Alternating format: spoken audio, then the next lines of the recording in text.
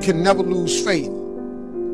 That's the key. You have to believe in something that you can't see. You have to believe when you can't, when you don't see no way how.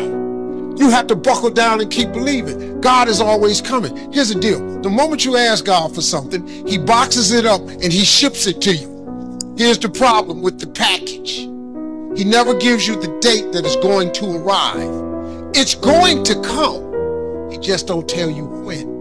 If he told you when, it would destroy the relationship that's required to have an abundant life, which is faith.